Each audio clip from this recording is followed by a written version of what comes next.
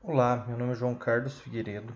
Eu sou aluno do curso de Bacharelado em Geologia e vim apresentar para vocês o meu PIBIC, que é com o tema Mapa de Isótopos de Neodímio e Dados Modelo TDM da faixa Brasília, com o orientador sendo Elton Luiz Dantas.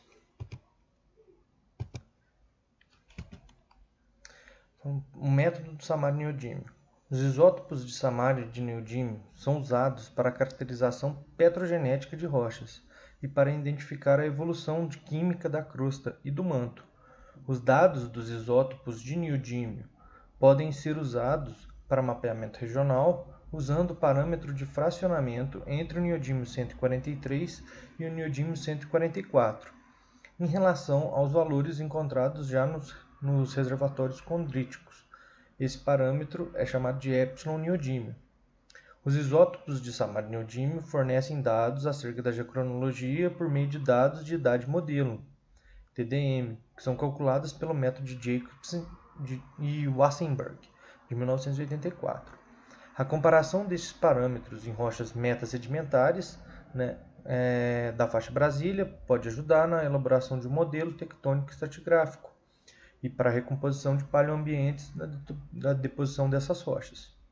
O nosso isótopo de interesse, mostrando também a tempo de meia-vida né, do Samar, que é muito grande, por isso que a gente usa ele para a geocronologia.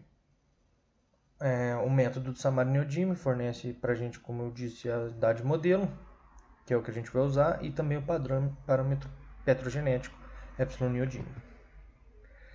A metodologia do trabalho é, consistiu numa é, análise né, bibliográfica, é, onde esses dados isotópicos samariniodime das unidades vazante, canastra e BA, que são pertencentes à faixa Brasília, é, foram confeccionadas tabelas é, que compilavam esses os, os dados desses diversos trabalhos. É, com elas a gente fez gráficos que foram usados para interpretar e comparar os valores que a gente obte, obteve dessa compilação e que a gente calculou também. É...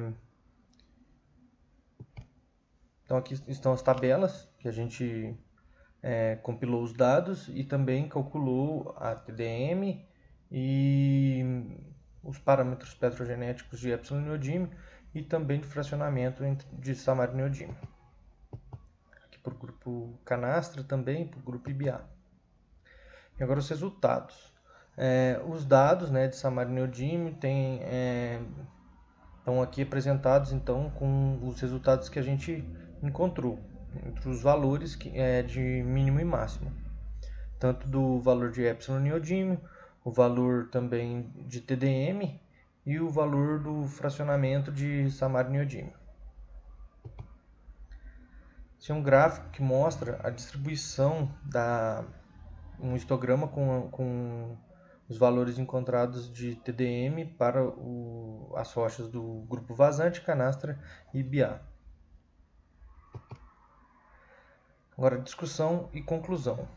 Né? Os gráficos de TDM mostram um padrão de rejuvenescimento da base para o topo da estratigrafia da faixa Brasília, com os grupos vazante e Canastro tendo a idade é, modelo muito próximo, uma pequena discrepância para o grupo IBA.